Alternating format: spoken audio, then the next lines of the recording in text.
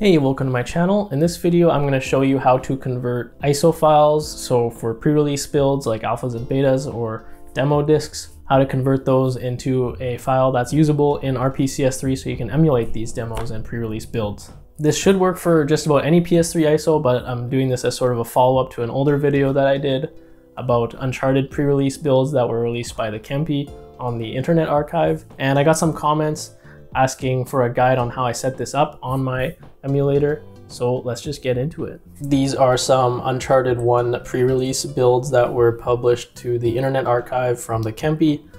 So I've already downloaded these and let's just start uncompressing these 7-zip files. If you're on Windows 10, you'll probably need 7-zip to unzip these, but Windows 11 now has this natively. The next tool you're gonna need is called PS3 Generator Tools. Uh, this is the one that I'm using. I'm not sure if it's the original, but it works for me. So I'll just link this down below. So once all of those pre-release builds are unzipped, let's open up RPCS3. But I'm just gonna show you that it doesn't work. The ISOs don't show up. You can't add those to RPCS3. So that's why we need this generator tool. So let's go back to that. So in the generator tools, let's open the README. You can check out what's going on with these. So we're going to be using the PS3 checker.exe. So I think the first one, PS3 Gen, lets you make ISOs and then this one will decrypt ISOs. So let's go and open the PS3 checker chk.exe. And since that original video, I've also figured out how to get this E3 build of the game working on RPCS3, but let's just get that added in here. So let's go into this E3 version of the game and then you just drag this ISO into the software. And then next you're gonna hit decrypt. It'll open this pop-up. You're gonna have to choose where to output it. Let's just put it in the same folder where we found the ISO, but you can put this anywhere. And then you're gonna wanna select all files underneath that file path. So this is gonna take quite a while. The estimate said about 40 minutes. I think it took about 10 to 20. Once that's done, you should see a PS3 game folder, a PS3 update folder, and a PS3 disk.sfb file.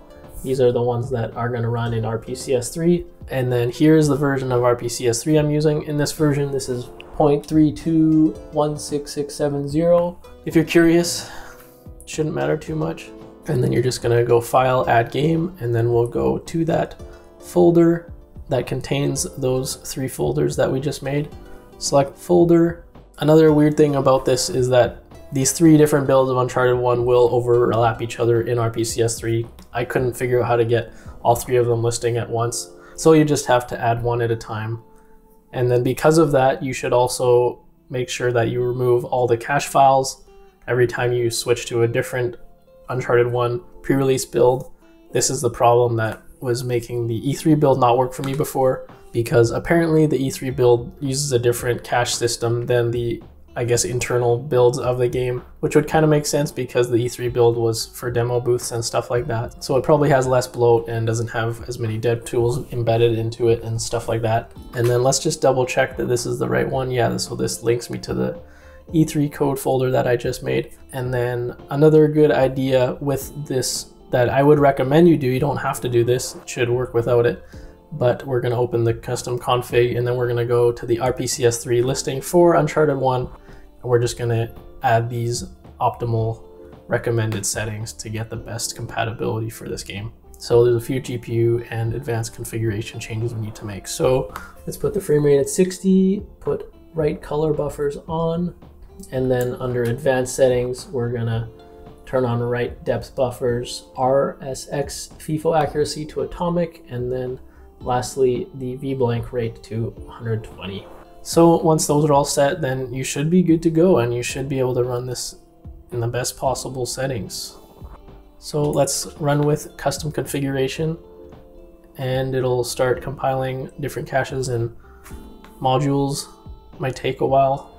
And this is actually really cool because I never got to see this E3 build. And yeah, it is quite different. It had like an ESRB rating and a little bit more polish to it than the other demos and it goes straight into a trailer I guess because it's on a demo booth they just want to leave this running all the time can choose a few different levels and then it also has a controller pop-up. So yeah, this is really quite a bit more presentable than the other builds that I played in that previous video a while back.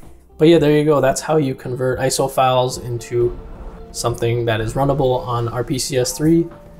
And here's Uncharted 1 E3 demo running at 4K, about 30 FPS. That's pretty good. I'm sure it would be uh, close to 60 if I turned it back to 1080 or 720p especially, but looks pretty nice if you exclude the random pop-in. And again, this should work for just about any PS3 ISO, but I thought this would be especially useful for pre-release builds because PS3 dev kits are quite hard to come by to get those running properly, so using an emulator is the next best option, and hopefully you found this video helpful. Thanks for watching if you made it this far, like and subscribe and all that good stuff, and let me know down below if there's any other emulation guides that you'd like to see on my channel.